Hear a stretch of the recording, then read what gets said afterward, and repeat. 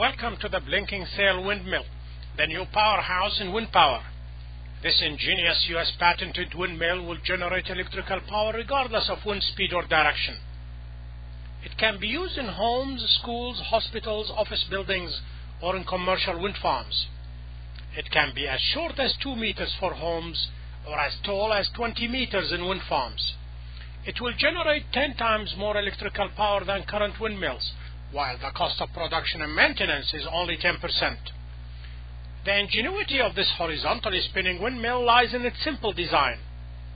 Four, five, or six frames can be connected on the windmill's vertical post.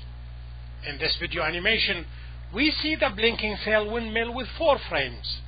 Each frame has three white colored rectangular sheets made of cloth or synthetic materials hanging on movable horizontal bars. In this video, the wind is at normal speed and is blowing from the viewer's direction towards the computer screen. The sheets are very light and the lowest breeze will blow them away. In this video, the wind blows the sheets of the left frame and passes freely through them while the sheets on the right frame are not blown away because the horizontal bars are preventing the sheets from blowing over to the other side of the frame. This makes the sheets stick to the horizontal bars and prevent the wind from passing through the active frame. The combined result of intelligent design and integrated components is a powerful windmill acting like a giant solid sail.